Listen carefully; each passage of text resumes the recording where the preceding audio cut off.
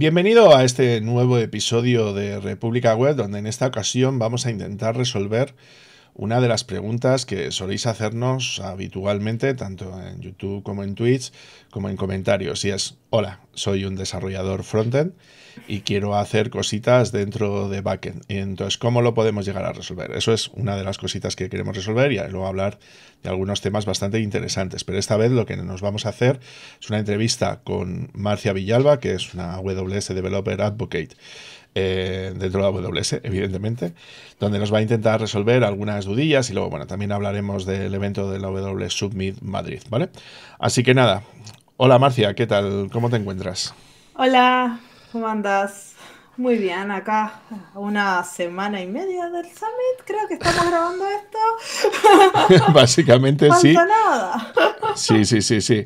Em, antes de que nos, metamos con los temas que, que habíamos hablado y tal, claro, yo te conozco desde hace parece mentira. Hace más de dos años que, nos conocemos, ya hicimos una entrevista anterior en el, podcast de, República Web y quería saber, pues eso, eh, claro, las personas vamos evolucionando con el tiempo y dentro de las empresas hay veces que evolucionamos un poquito también. ¿Cómo ha cambiado un poco tu, perfil desde que hablamos hace dos años hasta ahora más o menos? Porque te he visto subir un montón de contenido diferente a lo que solías hablar antes.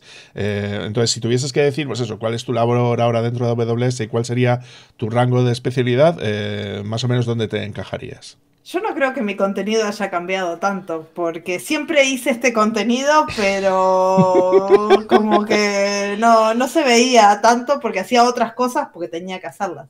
Este, ahora estoy trabajando en el equipo de serverless, o sea, el equipo de producto. Antes estaba la organización de marketing, de developer relations. Era, creo que en el momento que hablamos, trabajaba para Latinoamérica y hacía Developer Relationships eh, a Latinoamérica. Y bueno, y ahí fue cuando empezamos con el podcast, con Isa, este, y empezamos a trabajar el podcast. Y bueno, y hace un año y algo que cambié de ser Developer Relations de, de Latinoamérica a trabajar para el producto. El producto. Los productos que trabajo son Lambda, eh, Step Functions, API Gateway y EventReach y AppRunner, que es un producto nuevo que está, está buenísimo, este, que son básicamente mm, la, como el core de nuestra oferta serverless, ¿no? Este, pero está, sigo siendo Developer Advocate, así que en eso no, no ha cambiado lo que pueden ver si me siguen en las redes sociales que la mayor parte de mi contenido venga con muy fuertes esos, esos, productos que son los que, los que me estoy enfocando.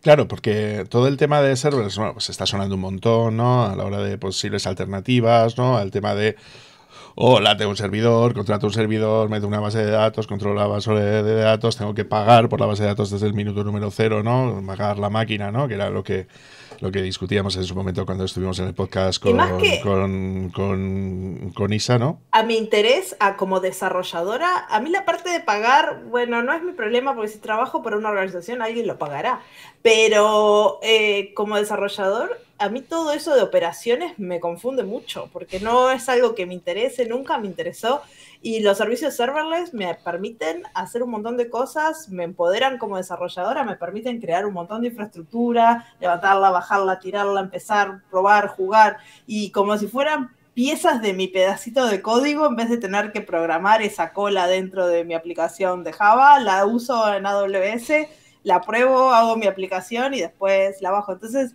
me dan muchas herramientas como, como desarrolladora y ahí fue como me empezó a gustar este, toda la parte de serverless por, por todo el poder que me daba como desarrolladora en, en crear un montón de cosas, ¿no? Claro, porque es lo que te comentaba tú, que es, una de las dudas que son, recurrentes de los programadores. Pero antes de meternos un poco más en materia, me, gustaría un poquito más hablar de, la AWS Summit de Madrid, pues si no, ya luego nos liamos hablando de tecnologías, cosas y tal, y al final se nos, se nos termina pasando y la gente pierde un poco más el foco. ¿Qué es el AWS Summit Madrid? El AWS Summit Madrid es como un hijito de, nuestra conferencia grande de, Reinvent de Las Vegas, es una mini versión este, que va a ser mayoritariamente en español el contenido, a diferencia de nuestro evento en Las Vegas que es en inglés.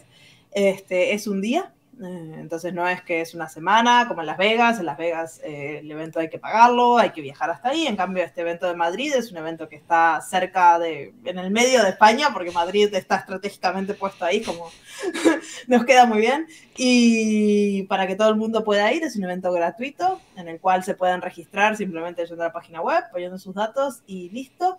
Y van a encontrar el mismo tipo de charlas que van a encontrar en el evento de, de Las Vegas, pero en español. Este, de niveles técnicos varían desde el nivel básico hasta el nivel avanzado. Obviamente, al ser un día, la cantidad de charlas que ofrecemos es mucho menor, pero va a haber como seis tracks, así que hay un montón de contenido durante todo el día. La agenda ya está disponible. Así que pueden ver que va a haber como 30, 40 charlas, no sé cuántas charlas. Ay, mira, ahí tenés la agenda. Bueno, la eh, verdad es que es, es, es, una pasada. Es decir, si vas a ver un poquito la agenda, lo que es el, lo que es la keynote inicial, ¿no? La, la tienen prevista desde las 9 a las 10, ¿no? Bueno, que no le hemos dicho, sería el día 15 de junio eh, en Madrid, en IFEMA, si no recuerdo IFEMA, mal. Sí, es en IFEMA. Eh, correcto. Entonces, si sabéis ir a IFEMA, pues bueno, pues ya sabéis cómo, cómo llegar, eh, que está allí en Madrid, ya sabéis a las afueras en, la parte norte de Madrid, se, puede llegar, pues eso, metro, cercanías, tal, hay, hay prácticamente de todo. Y lo que es, un evento, pues eso, que sería desde las 9 de la mañana hasta las 7 de la tarde, más o menos, ¿no? Y pues bueno, lo que sería la primera hora es de hola, eh, mm, bienvenidos al eh, Summit, ¿no? Creo que arrancamos, no estoy segura a qué hora arrancan las, las charlas, pero no sé si en este summit o en el, en el de Amsterdam arrancan antes de la keynote las charlas. En este no me he fijado si no hay charlas antes de la keynote, pero están tan llenas las, las, las agendas que es como... Oh. Creo que no, pero, ah, En España, capaz a las 9 de la mañana, ya, ya, ya, sabes que en España hasta las 10 de la mañana no somos personas. por eso, capaz por eso. Pero en Amsterdam creo que arranca como a las 9 con la primera sesión. La keynote es como a las 10 y. Claro, claro, correcto. Aquí lo que comenta es eso, que las sesiones serán, bueno, lo que es la keynote es a las 10 y luego se supone que las sesiones serían a partir de las once y media o seis y media de la tarde. Y luego, bueno, pues hay un montón de tracks diferentes, ¿no? En este caso, por ejemplo, hay hasta 10 tracks. 10 tracks tenemos acá. Claro, que hablan, pues eso, desde eh, inteligencia artificial y machine learning, datos, arquitectura, DevOps, tecnologías para desarrolladores, fundamentos de AWS y prácticas recomendadas, que esto, bueno, sería más rollo más introductorio, ¿no? Si es fundamentos y tal. Eh, elevando el valor de tu negocio, que estas son todas las de, todas las de business, ¿no? Sí. Sí, que sería elevando el valor de tu negocio, acelerando tu negocio, innovando con AWS y luego, evidentemente, Public Sector, porque si alguien se había olvidado, Public Sector es un negocio también. Así que cosas, cosas de ese estilo. Claro, correcto. Sí, sí. Sí, de hecho, conocía a uno de los responsables también de, de, administración pública dentro de AWS también el año pasado, ¿no? Em, y este año vas a dar charla tú, porque yo sé que el, que el año pasado sí, sí estuviste dando charla. ¿Y cuál es la charla que...? Estoy dando una con una empresa que se llama CliDrive este, vamos a estar hablando de arquitecturas orientadas a eventos, vamos a estar hablando de el camino para empezar a hacer arquitecturas orientadas a eventos en tu organización. Y CliDrive nos va a estar contando su camino. Yo voy a estar hablando de patrones y de buenas prácticas. Y bueno, y entre, entre los dos vamos a estar armando una historia que espero que les, que les guste. Este, yo creo que va a ser una charla muy divertida. Es una charla como es con clientes, no la di en ningún otro lado antes, porque la creamos con, el cliente juntos, son, es un cliente muy técnico que va a entrar en los detalles, en todas las, este, todo lo que les pasó, todas sus historias, lo cual hace que la charla sea mucho más divertida, ¿no? Sí, porque yo creo que una de las cosas más importantes, creo yo, ¿no? de, este tipo de, de conferencias no es tanto que la gente de AWS nos cuente qué es lo que tiene, ¿no? Sino yo creo que es más la experiencia, ¿no? De por parte de los clientes a la hora de poder saber cómo ha sido su modelo de transición, vamos a decir, ¿no? A esta a estos nuevos servicios de AWS, ¿no? Es un poco de todo. A veces los clientes también quieren escuchar eh, este tipo de eventos son los únicos momentos de educación que tienen, así para empezar a entender qué está pasando. Capaz no le tenés que dar todos los detalles, pero le contás un montón de cosas y les ayuda después ir a sus empresas a, buscar esa información. Entonces hay que hacer un poquito de las dos cosas, ¿no? De, contar historias de clientes para mostrar, miren, hay gente haciendo esto y es posible, y también mostrar toda la, oferta que hay, porque es muy difícil a veces filtrarlo si entras a la consola y decir, no, no entiendo nada, no sé qué está pasando, pero si vas a eventos como, como el Summit o escuchás este, podcast o estás consumiendo diferentes tipos de contenido, el Summit es simplemente un, camino, este, te pueden ayudar a decir, ah, mira, este servicio no, no conocí. Claro, correcto, correcto. Bueno, pues vamos a aparcar ya de momento eh, lo que es el Summit. Yo, yo la verdad es que sí os recomiendo. Otra cosa del Summit, que para los que vengan, eh, más de una charla, voy a estar en un booth. Tenemos nuestro, nuestro propio booth, que es una cafetería, así que vénganse, tomen un café con nosotros en el Serverless Espresso, que es, es una cafetería que básicamente está powered by Serverless, donde todo lo, el, el backend y toda la arquitectura está montada en Serverless y de paso me preguntan a mí o a la gente que está ahí cómo, cómo lo hicimos, que está, muy interesante. Vale, solo, solo por, a, mí eso me, Claro, yo no estoy acostumbrado a la terminología americana a la hora de definir los sitios dentro de los eventos. Es, o sea, lo, que está definiendo Marcia es un stand. Es decir, cuando se refiere Marcia a un ah, booth. Un booth, un stand es una palabra muy española. bueno, pero es lo que típicamente se ha solido llamar por aquí. Es decir, cuando tú vas a un evento, pues eso, el sitio donde figura, ¿no? Donde se refleja es, es, el stand. Bueno, pues yo, yo la verdad es que tengo que reconocer que cuando dicen que es, que es el expreso es porque literal, o sea, te bajas una aplicación, haces algo. No, no, no te bajas una aplicación. Escaneas un código QR con tu móvil y. Ah, claro, correcto, correcto sí, perdona.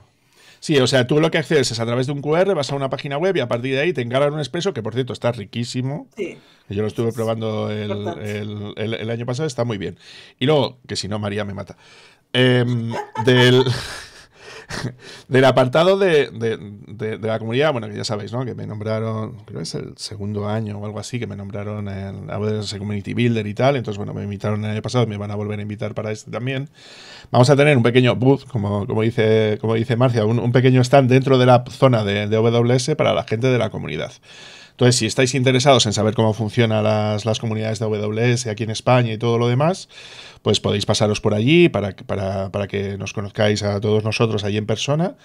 Y pues si queréis montar un grupo de AWS aquí en España o lo que sea, pues que os puedan llegar a orientar a la hora de poder hacerlo y conocer los diferentes programas que, dispone AWS aquí en EMEA, que es la responsable que, nos, que nos maneja y nos gobierna, que es, que es, que es María, ¿vale? Así que nada, si simplemente si queréis pasaros por ahí. Ah, por cierto, y tienen comidita por allí todo el rato, que esto es algo curioso. Eh, o sea que si os y café. y café, correcto, en la zona esta del expreso serverless. Vale, em, vale, ya, ya, nos quitamos esto más o menos de la cabeza. Yo os recomiendo que vayáis, ¿eh? que, de verdad que merece bastante la pena. Y bueno, si aparte de la charla, seguro que merece mucho la pena verla, ¿vale? Em, ¿Qué es lo que te quería comentar? Claro, pues yo cuando te dije, va, 20 y tal, ah, justo aparte de lo del Summit, era pues por lo que te comentaba antes cuando estábamos haciendo la introducción de lo que es el podcast, ¿no? Que era ver un poquito cuáles son las soluciones que dispone AWS para aquellos desarrolladores que son frontend, que no tienen, justo lo que decías antes, no tienen ni idea de lo que es la pata de infraestructura, no tienen ni idea de lo que es un servidor, ellos lo único que quieren es hacer su código, yo que sé, React, eh, Vue o lo que sea, ¿no? Y poder eh, que automáticamente, ¿no? Que eso se pueda llegar a desplegar directamente y pues eso, que si tienen que hacer una base de datos, pues no tengan por qué pagar necesariamente por el servidor y por todo eso, ¿no? Entonces, claro, ante todo eso, luego tú ya me corriges, ¿no? Que seguramente las cosas han avanzado mucho con el tiempo. Existe una solución denominada AWS Amplify, ¿no?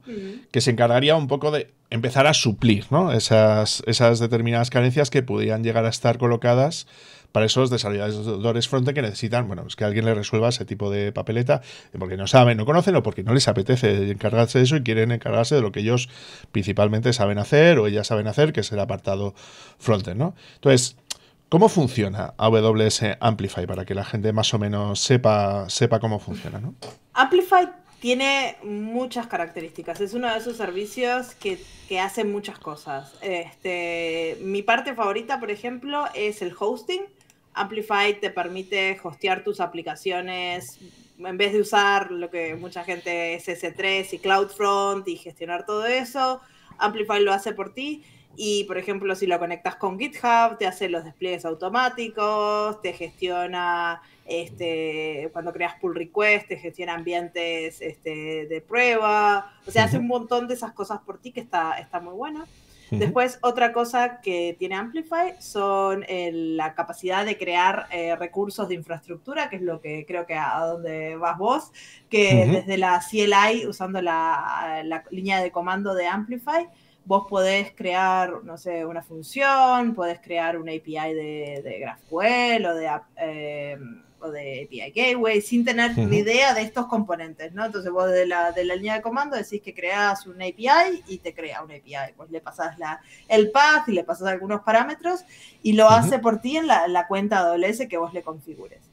Y otra tercera parte que, que, también uso un montón es la parte de la integración con las librerías, con el backend, ¿no? Entonces trae unas librerías que son la AWS Amplify Library o SDK o no sé cómo se llama ahora, pero básicamente te la, te la pones en tu aplicación de cliente, tiene para Vue, para React, para este, Android, iOS, lo que uses tiene un montón.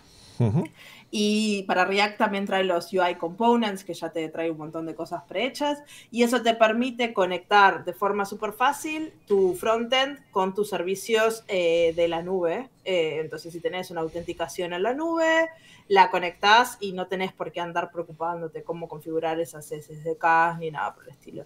Y esas son como las tres grandes funcionalidades. Tiene muchísimas más porque le han agregado mil cosas, este, pero esas son como las tres cosas, yo creo, más, más útiles de, de Amplify hoy en día. Y dentro de esas categorías podemos entrar en detalle que hay muchas características adentro de cada característica.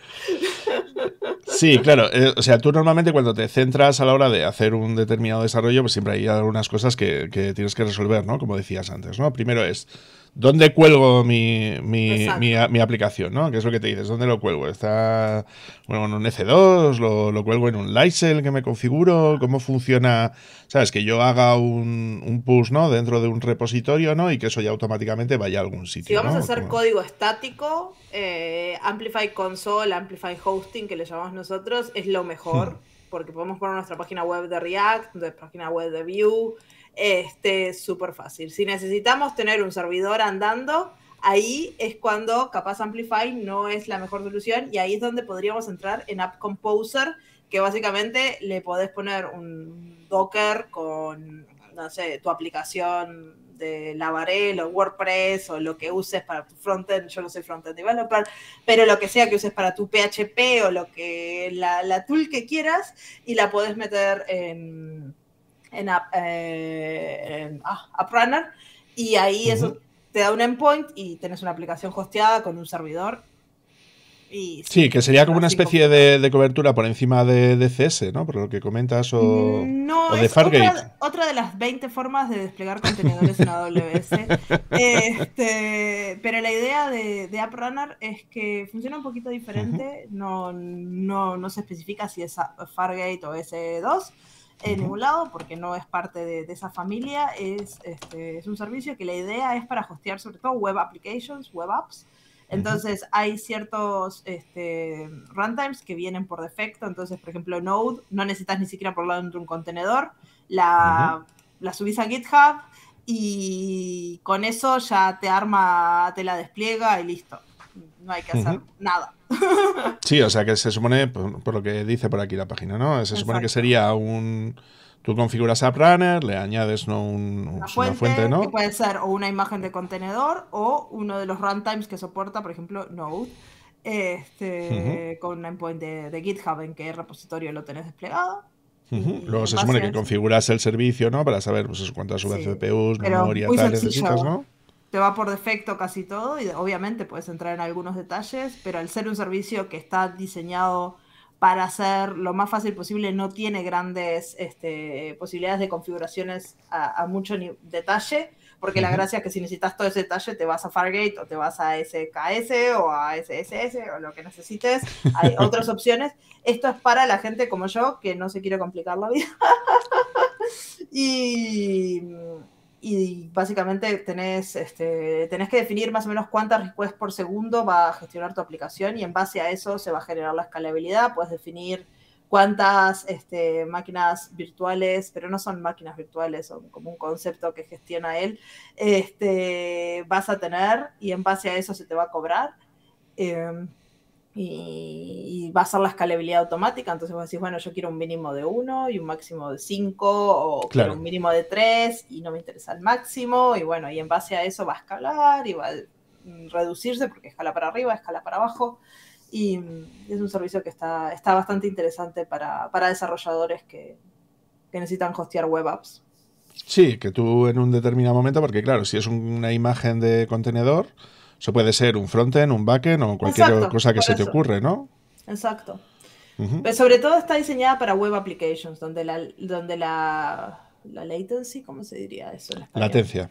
La latencia, este, requerís que sea una latencia muy pequeña, este, que es algo que a veces con Lambda no, no puedes obtener. Porque Lambda, bueno, si necesitas hacer estos, estas requests y response que son tan rápidas a veces para tener un servidor, por ejemplo, tu WordPress o cosas por el estilo, eh, capaz Lambda no, no, te da esa latencia tan pequeña, pero AppRunner te da una latencia como si lo tuvieras en un contenedor de Fargate, por ejemplo, o de, o de CS2. ¿no? De CS2, sí. Vale, correcto, correcto. Vale, o sea que realmente hay un montón de herramientas diferentes que un desarrollador frontend podría llegar a escoger, ¿no? Hemos mencionado un, montón de, ellas, pero tú si tuvieras que, claro, pero si tú tuvieras que recomendarle, claro, claro, si tú tuvieras que recomendar, o sea, tú imagínate, la típica persona que todavía no sabe ni, o sea, que, que, tiene un determinado proyecto, pero que él sabe compilar el proyecto, lo sabe ejecutar ahí en local, eh, pero no tiene mucha idea de cosas de ese estilo. ¿Tú qué le recomendarías que, hiciera por defecto? Bueno, vamos a hablar de un frontend de React, porque no es lo mismo un React que un WordPress que otra cosa. Sí, sí, cuando me refiero a un, a un frontend, sería un frontend eh, de, aplicación de, aplicación rollo React, View, cosas de ese estilo, ¿no? Un SJS, por ejemplo. Exacto. Eso está con Amplify, es la forma más fácil hoy en día. Te bajas Amplify y seguís los pasos que tienen un montón de, pasos para empezar. Tiene una documentación que está, está muy buena, donde te llevan de la manito de cómo instalar las librerías, cómo hostear la aplicación, cómo crear eh, las diferentes piezas de infraestructura en la nube que necesites. Entonces, por ejemplo, si necesitas autenticación, es algo que yo creo que hoy en día casi todas las páginas web necesitan, por una razón o por otra. Este, entonces, por ejemplo, te muestra cómo crear tus componentes de autenticación en la nube. Después te muestra, por ejemplo, storage, este, almacenamiento, es algo también que muchas aplicaciones web necesitan, dónde pones tus imágenes, este, cómo haces una distribución de, de, CloudFront. Bueno, con Amplify todo eso lo, lo podés este, hacerlo con una interfaz de comandos súper sencilla que vas diciéndole, agregá un storage, agregá una distribución. No tenés por qué saber los nombres de los servicios hmm. este, y no tenés que saber un montón de, cómo se gestiona esa infraestructura dentro de AWS. Lo hace todo Amplify por, por ti.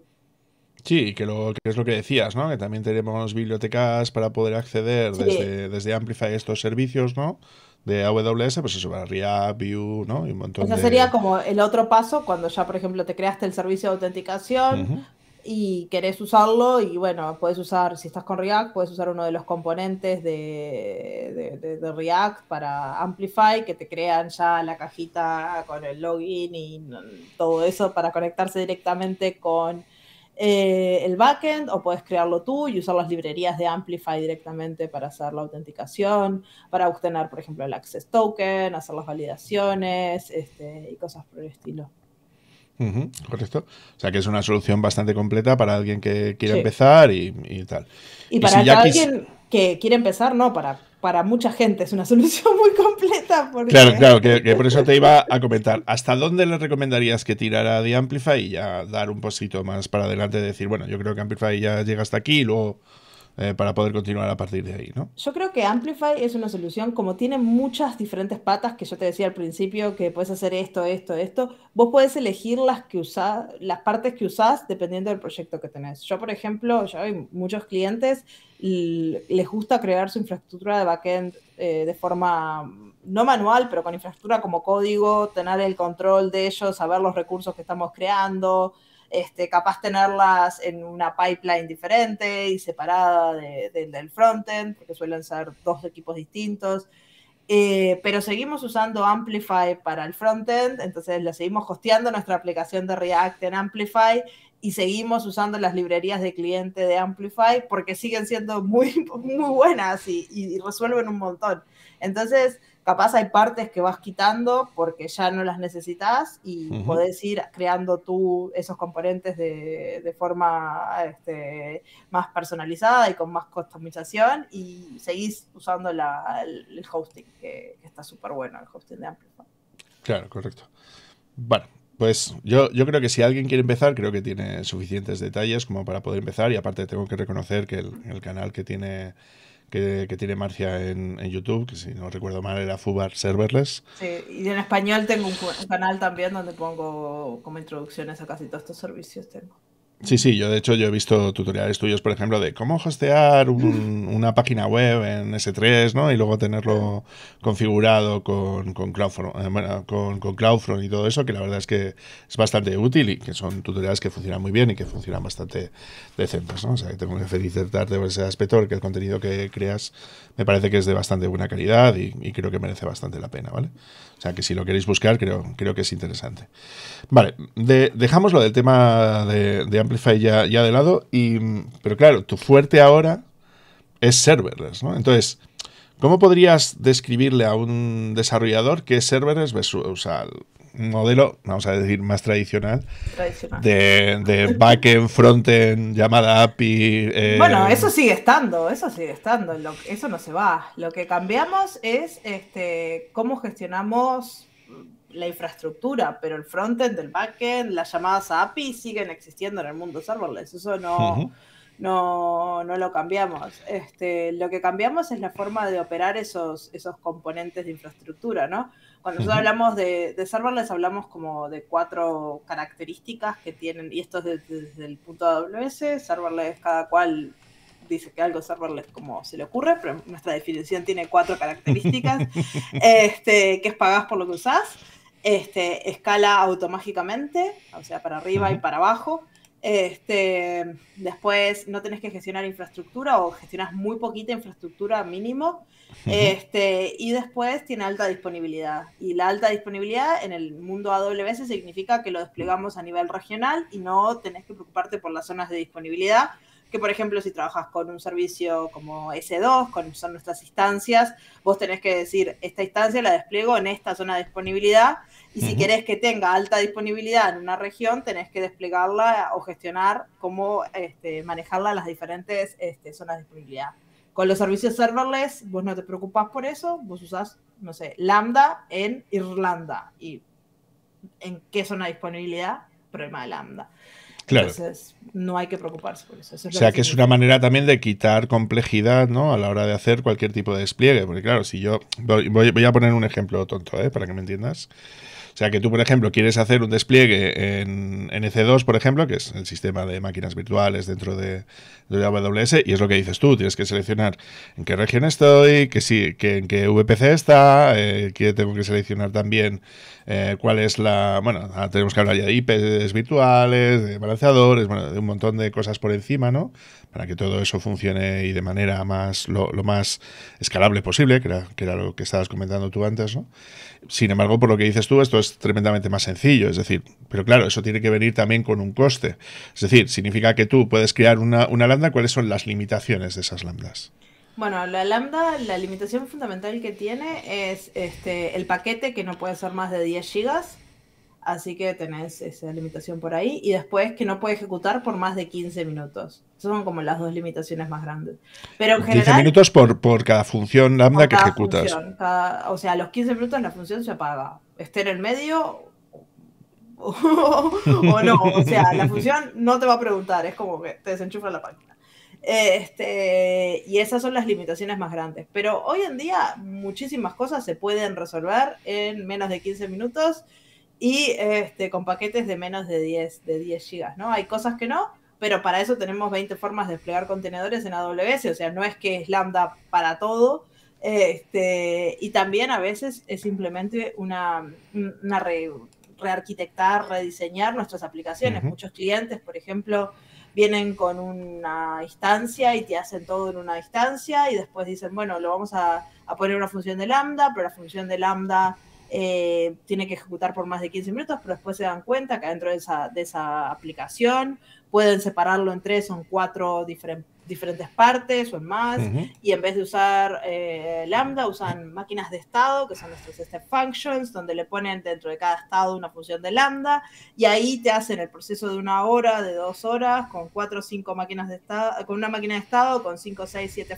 funciones que ejecutan como tienen que ejecutar, y resolver el problema de forma serverless. Otros dicen, no, yo mi función no la puedo hacer en menos de 15 minutos y este lo ponen en un Fargate y ya está. Claro, correcto. Es decir, si tienes ese tipo de limitaciones, pues hay otra serie de infraestructuras que puedas llegar a hacer, ¿no?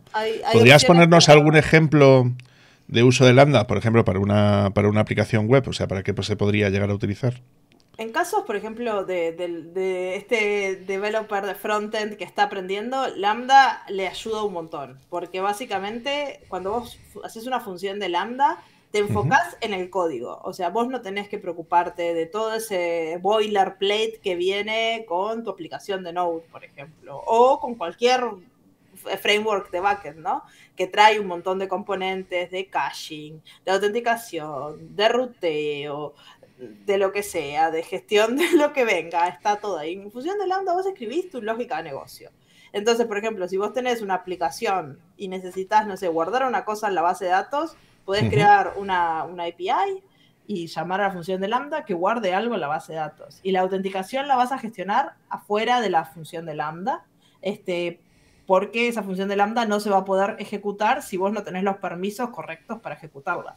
Este, y, y listo. Y la función de lambda, guarda algo en la base de datos, listo. Y después, o puedes hacer que retorne algo de la base de datos y limpiar el resultado, o no sé, eh, a nivel pequeño. Después, a nivel grande, los clientes lo usan para cualquier cosa. Tenemos muchos clientes que lo usan eh, para el procesamiento de datos, por ejemplo, con streaming de datos. Eh, eso es súper útil porque es computación bastante efímera, entonces vos podés asociarla a tu Kafka o a tu Kinesis cosas por el estilo, y tener una función de lambda que esté procesando todos los eventos que entren a tu sistema en tiempo real y te los está limpiando, te los está enriqueciendo, te los está transformando o validando o lo que necesites. Y eso es súper potente porque esa computación tan efímera y tan sencilla permite hacer eso a, una escala muy grande. Eh, este, después, las máquinas de estado es una forma muy común de usar Lambda también para, para, hacer este, lógica de negocio muy específica. Vos puedes diseñar una máquina de estado donde esté toda la lógica de la aplicación, no sé, if, else, switch, parallelization, no sé qué, pero después necesitas hacer algo muy particular con tu aplicación, no sé, hacer una transformación o hacer este, lo que sea que necesites hacer y puedes crear una función de lambda que haga exactamente eso. Y esa función es tan nano, tan sencillas, son muy fáciles de testear, este, muy fáciles de reusar y a los clientes les encanta. Es uno de los servicios que, más se usa, es más usado por nuestros clientes hoy en día. Este, por, todas las facilidades que tiene. Y bueno, y ni hablar en la parte de infraestructura, para la gente que, que tiene infraestructura, adora Lambda, porque puede hacer cambios directamente en su infraestructura usando este servicio sin tener que montar un servidor, ¿no? Claro, correcto. ¿Y con qué lenguajes de, programación se puede implementar las cosas en Lambda? Bueno, Lambda viene con un montón de lenguajes este, soportados, de los clásicos los trae todos, Java, Go, Node, este, Python, yo qué sé, hay varios. Este, Pero también tenemos lo que se llama el Bring Your Own Language, así que si vos querés traer tu, propio runtime, también lo puedes hacer. Tenemos gente que ha hecho lambdas con COBOL, no sé por qué, pero lo han hecho. Porque se puede. Este, así que bueno, de ahí el infinito. claro, correcto. O sea, que se supone que puedes ejecutarla con cualquier tipo de lenguaje diferente, pero claro, supongo yo que tú puedes llegar a tener 800 landas, ¿no? Claro, no es lo lógico. Podés, y hay eh, clientes que tienen más. Claro, claro, eh, eh, por eso te digo. Entonces, claro, hacer el seguimiento de todo eso puede ser bastante complicado, ¿no? Eh, supongo yo que tendréis algún tipo de producto que sirva un poco de paraguas, ¿no? A, todos esos, a todas esas lambda, ¿no? Que te puedan llegar a permitir poder acceder de, de una manera un poco más centralizada y un poco más controlada, ¿no? Supongo. Bueno, depende de cómo, generalmente esas 800 lambdas no es que están ejecutando solas y perdidas, generalmente pertenecen a algún sistema, alguna aplicación. Este, para el monitoreo tenemos lo que es CloudWatch de toda la vida, que ha mejorado en los últimos años un montón y te permite un montón de visualizaciones, pero generalmente, por ejemplo, el caso de uso este de, de Step Functions, Step Functions es yo creo que uno de los servicios que provee mejor auditoría hoy en día de las ejecuciones. Hmm. Este, si no conocen Step Functions, es un servicio de máquinas de estado donde vos podés crear este, máquinas de estado muy sencillas o muy complejas que pueden llamar a básicamente todos los servicios de AWS usando una AWS API. Si tienen acceso a la API, podés llamarlos. Y en base a eso podés crear aplicaciones súper interesantes y, súper eh, complejas, ¿no? Eh, las máquinas de estado de Step Functions vienen en como dos sabores. El sabor estándar, que está por un año disponible. La máquina de estado se ejecuta por un año. O sea, pasamos de las funciones de, 15 minutos a tener unas funciones de un año. Y aquí este, esto se usa mucho para procesos este, manuales, donde hay actividad manual. Por ejemplo, en el serverless expreso que yo les contaba hoy, eh, nosotros lo usamos un montón esto. El corazón de serverless expreso es una máquina de estado donde ponemos el, ciclo de la orden, ¿no? Desde que el usuario escaneó el código QR hasta que le dieron el café, todo eso está gestionado por una máquina de estados, en donde hay ciertas partes que este, estamos esperando que el usuario elija el cafecito o el barista prepare el café o lo que sea, que son acciones humanas. Y bueno, y esto se puede integrar con eso. Y ahí hay un montón de funciones de Lambda que este, podemos monitorizarlas al detalle, puedes ver este, exactamente cuándo se ejecutó, qué inputs, qué outputs, qué, todo.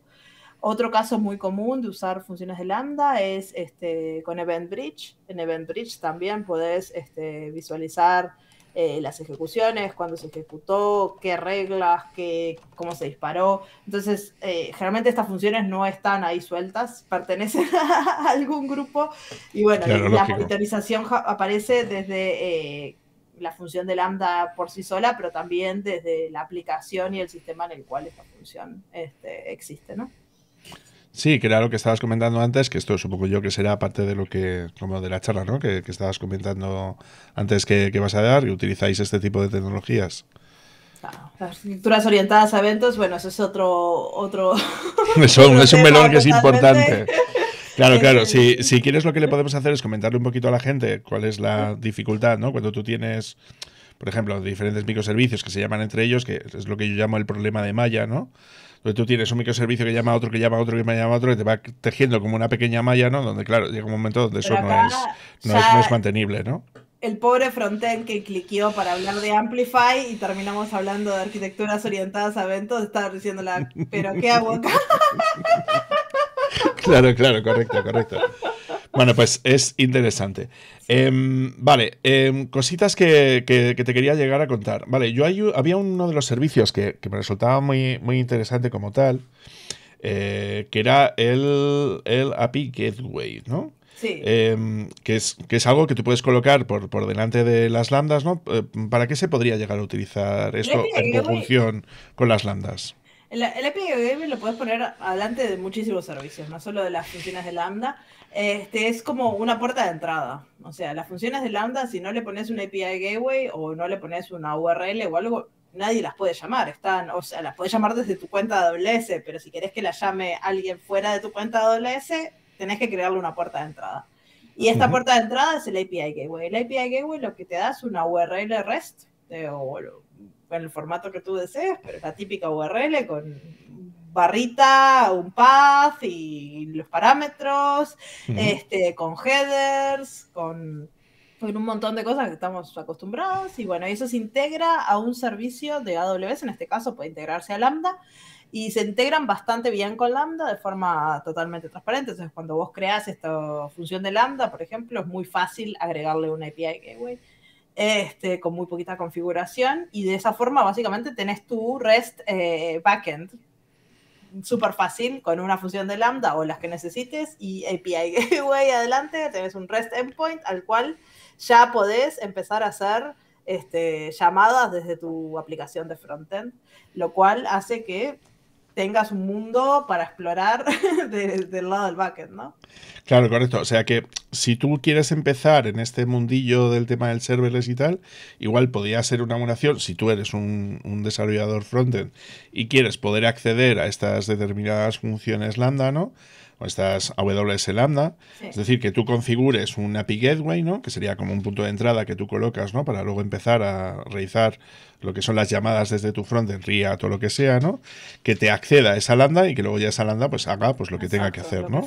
y por ejemplo, si están usando Amplify, cuando ustedes le dicen que agregue una API, te va a crear un, API Gateway en el backend, que vos no vas a saber que es un API Gateway porque no te interesa, pero es lo que va a estar creando Amplify este, de forma dinámica usando la línea de comando, cuando vos le decís que es uno de esos. Vale, correcto, correcto.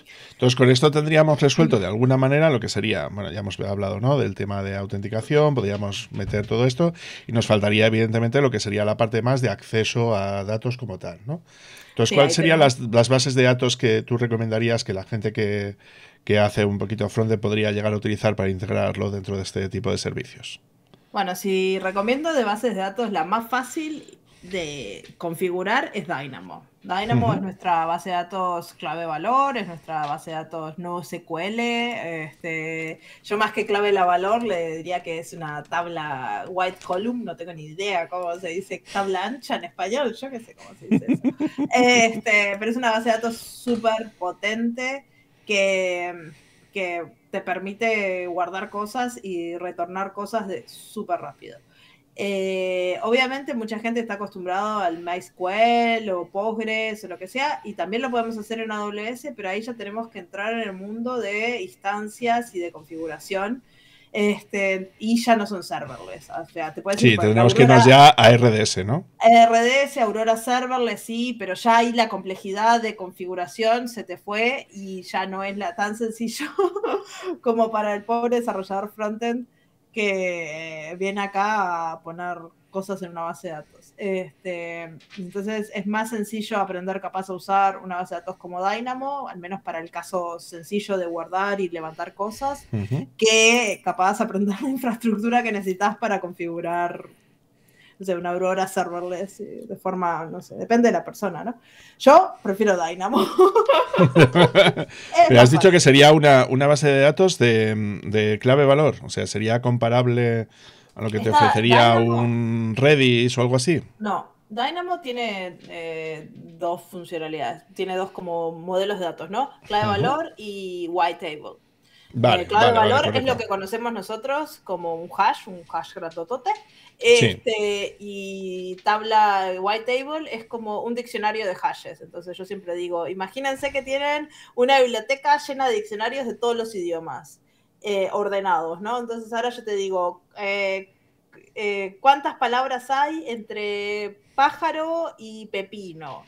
En español. Entonces vos, como tenés ese diccionario de, esa biblioteca de diccionarios, sabés, vas al de español y abrís ahí entre pájaro y pepino y me contás cuántas palabras hay. Y es una operación bastante rápida.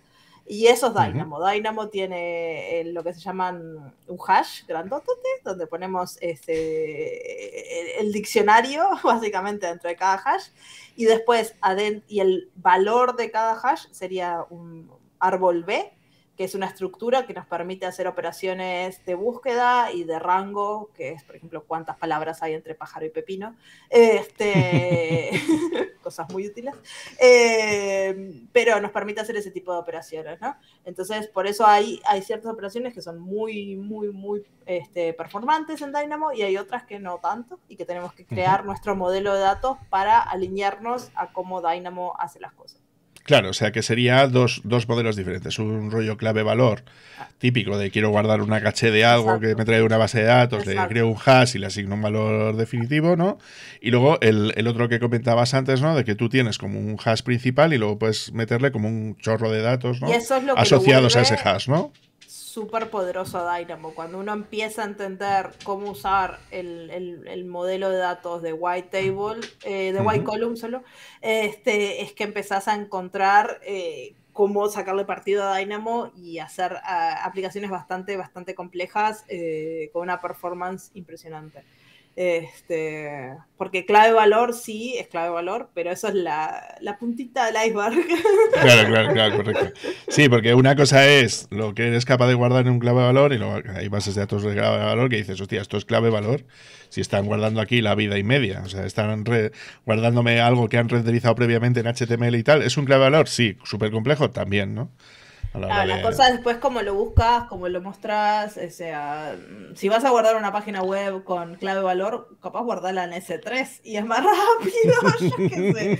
Eh, depende de lo que guardes, ¿no? Este, sí, o, depende también de lo que tengas que buscar ahí dentro, que igual simplemente es un texto que coges, lo presentas renderizado en un INEN HTML y ya está, que lo mismo podría ser eso tranquilamente, ¿no? Por eso, pero Dynamo funciona muy bien si vos eh, pensás previamente cómo vas a retornar, eh, qué vas a retornar y cuáles son tus casos de uso. Si vos diseñás la base de datos de acuerdo a eso, vas a tener la mejor experiencia de base de datos del mundo. si simplemente tirás datos como si fuera una tabla de, de, SQL de toda la vida, eh, vas a sufrir mucho porque Dynamo no hace joins, este, y no, no, tiene todas las características que tiene una base de datos este, SQL en las cuales estamos, este, que estamos familiarizados. ¿no? Claro, claro, correcto. Y luego, otra cosa que te quería contar así también un poquito por encima, y sería, em, bueno, y para bases de datos un poco más tradicionales, ¿cuáles serían las opciones que, podríamos llegar a Aurora, RDS Aurora Serverless es la forma serverless de hacer bases de datos este, relacionales. Este, es más compleja la configuración, pero sigue siendo más sencilla que tener que hacer con una instancia. Pero bueno, este, esa es la Septa Postgres y creo que MySQL.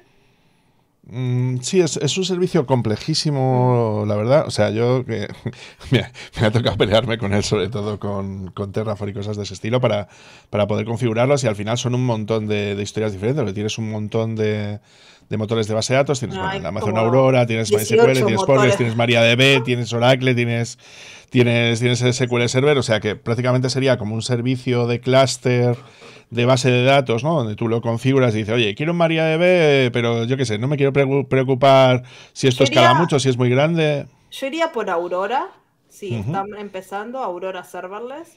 Aurora es un motor de base de datos que simula con compatibilidad para Postgres y MySQL, que lo simula de forma mm, compatible totalmente, pero está diseñado para la nube. Entonces eso significa que puede escalar de una forma que los motores de base de datos tradicionales no pueden. Este, performa mucho mejor y además este, ahí es la parte donde pueden configurarlo de forma serverless, que no, no tienen que tener una instancia corriendo y bueno, van a, si no lo están usando todo el tiempo, este, van a pagar menos y van a tener que preocuparse menos por la infraestructura. Este, pero bueno, sigue siendo un poco más complicado que setear Dynamo. Dynamo simplemente creas una tabla y lo empiezas a usar. O sea, es muy fácil.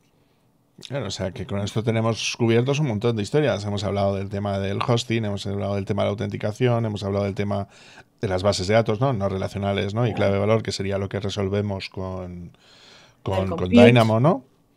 Más la parte más rollo SQL, ¿no? Que sería más, pues eso, Amazon Aurora, ¿no? O, RDS en, línea general, ¿no? Pero me faltaría, em, claro, si yo soy un desarrollador y quiero disponer de un entorno de trabajo, pues eso, hay... Eh, AWS ofrece algún tipo de entorno de desarrollo que yo pueda llegar a utilizar y que me ayude a poder integrar todo esto de una manera más o menos sencilla. A ver, ¿qué te referís? ¿Tipo Cloud9 o algo sí, así? Sí, sí, me, refería más, más, rollo Cloud9, por ejemplo, ¿no? Sí, no sé, yo prefería, yo creo que los desarrolladores prefieren usar Visual Studio Code o algo así e integrarse con la extensión de AWS este, de Visual Studio Code y, por ejemplo, Code Whisperer, yo creo que hoy en día es una herramienta que si no la están usando, vayan y úsenla. Sí, nosotros la, hemos, la hemos visto, o sea, de hecho la estuve analizando el día que salió y tal, porque te vi que, colgaste el, vídeo hablando de ella y tal. Y estuvimos haciendo aquí el estudio, estuvimos mirando, lo estuvimos haciendo y yo, de hecho, yo la utilizo a, diario, a mí me está gustando un montón. Exacto. Y de hecho, yo, la, yo la tengo bastante recomendada, ¿no?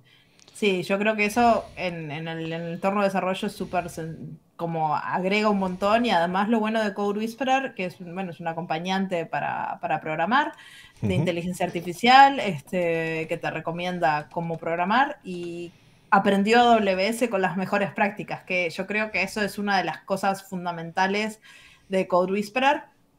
Entonces, si ustedes están aprendiendo o no saben cómo hacer algo, Code Whisperer les puede recomendar la forma correcta de hacerlo simplemente por crearle el comentario o empezar a escribirlo. Este, Code Whisperer va a decirles, ah, mira, de esta forma te conectas con una tabla de Dynamo, de esta forma creas una, este, una función de Lambda, de esta forma llamas a la AWS Dedicated de tu frontend y, lo, tiene, lo tiene muy bien para eso. Entonces yo es algo que a la gente que está empezando y a la gente como yo que, sabe usarlo igual, que lo use porque te aumenta la productividad un montón y, es algo en el entorno de desarrollo que, tiene que estar hoy en día. Vale, perfecto. Pues yo creo que más o menos hemos cubierto casi todo lo que, lo que teníamos visto. Me em, faltó una cosa, ¿eh? Dime, dime, cuéntame. ¿Cómo se despliega este código? Claro, claro, claro. Claro, porque una cosa parece mentira, pero es cierto. Claro, pero como me habías dicho de que yo se supone que, bueno, no, que evidentemente tú lo que es el código de, de frontend, ¿no? Eso se supone que ya se desplegaba automáticamente, ¿no? Con, enganchándole ya el repositorio de código y todo lo demás. Faltaría lo que sería la, la, parte de las lambda, ¿no? Este, ahí, eh, otra vez, como lo armen ustedes, el backend. Este, yo creo que para los desarrolladores, si son desarrolladores frontend, yo siempre digo que para mí es, creo, al menos con los que he hablado, les resulta más fácil ir en el camino de desarrollar el backend como frontend. Entonces, usar, eh, si no quieren hacerlo con Amplify directamente, pueden usar una herramienta como AWS CDK, que es un framework que te permite crear infraestructura como código, y puedes usar TypeScript, por ejemplo, para crear los recursos de infraestructura este, muy sencillo y con, CDK lo que trae es un montón de eh, variables por defecto y valores por defecto que hace que con un par de líneas de código, por ejemplo, puedas crear una función de lambda o puedas crear una función de lambda con una API gateway o puedas crear una tabla de Dynamo. Y para un desarrollador, por ejemplo, que ya está acostumbrado al web, que está acostumbrado a TypeScript, puede ser la forma como más fácil de arrancar. Incluso yo conocí unos cuantos que, me han dicho que es la, como lo más natural para ellos, ¿no? Hacer el frontend con TypeScript, el backend con TypeScript, y, lo toman como si fuera un componente de, de su aplicación. Y bueno, y eso se puede desplegar como, por ejemplo, con, con pipelines, CDK trae pipelines, o si no, crean sus, sus propias infraestructuras como código, así que simplemente de, desplegar el pedazo de infraestructura o agregarlo a una pipeline con GitHub Actions o cosas así. Sí, o con la CICD o con el Jenkins, ¿no? Con el sistema que, que, tú estés utilizando, ¿vale? Vale, ¿alguna última recomendación que, que pudieras darle a esos desarrolladores frontend, ¿no? Em, sobre alguna cosilla que crees que hayamos podido dejar, algún consejo que pudieras llegar a darles. Que no se líen. Este, porque es muy fácil entrar en, un mundo ahí de, ah, no sé nada, esto es demasiada información, no entiendo nada, no voy a hacer nada. Eh, empezar pequeño, buscar como una cosa chiquita que puedas hacer con una función de lambda, tampoco pensar mucho en, sobre arquitectura, de que ahí es cuando te empezás a liar. y empezar a probar, por ejemplo, si decís, bueno, voy a empezar con las librerías de Amplify, que me lo crea Amplify, y este, mucha gente dice, ah, pero si me lo crea Amplify, después cómo salgo. No pienses en eso todavía, estás aprendiendo. pero si te preocupa tanto, empieza con infraestructura como código, pero, pero no te líes tanto, no intentes eh, pensar qué va a pasar en los próximos 10 años empecé a intentar aprender un poquito cómo funciona la, infraestructura y sobre todo esos, hay tres o cuatro servicios que te van a ayudar un montón. API Gateway, Lambda, Dynamo y Cognito, que es nuestro servicio de autenticación que no lo mencionamos. Esos cuatro servicios, básicamente con eso puedes hacer un backend súper potente, gratis, porque tiene una capa gratuita, los cuatro servicios enorme, este, para siempre. Entonces puede ser que tengas una aplicación corriendo en la nube, montada en Amplify con hosting de Amplify y después tengas estos cuatro servicios haciendo el backend y mm, no necesitas más nada. vale, correcto.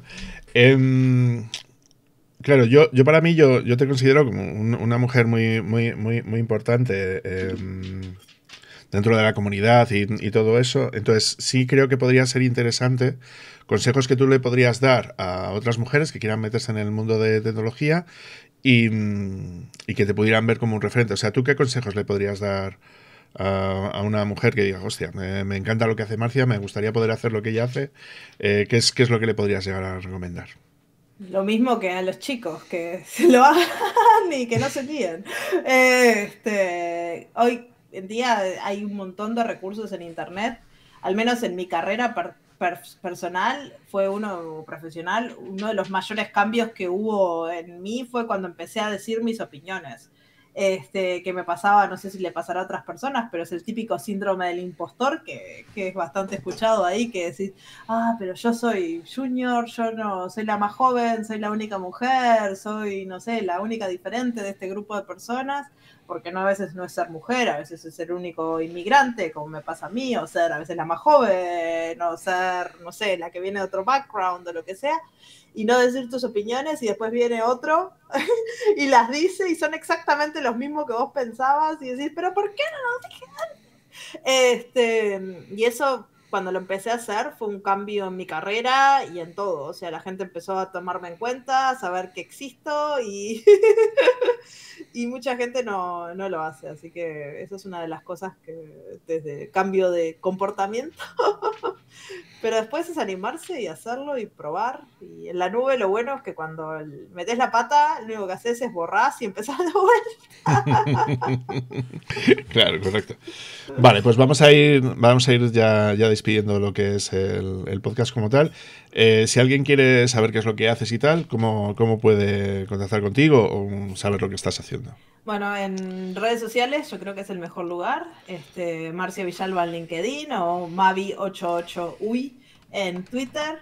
Ahí pongo todo lo que hago. Este, una de las cosas que hago para la comunidad en español, que los invito a venir, es el podcast de charlas técnicas de AWS, que es uno de los podcasts oficiales de, AWS, que hacemos cada dos semanas un, episodio y ahí hablamos de si sos un principiante, pero venís de tal lado, cómo empezar, o gente que hizo una migración, o cómo, no sé, usamos Machine Learning, o hablamos de todo tipo de temas diversos relacionados con la nube este, en formato podcast, así que si están escuchando este podcast, capaz les gusta escuchar ese otro. sí, yo la verdad es que os, conocí por el, por el podcast cuando, estabas con, con, Isa y tal.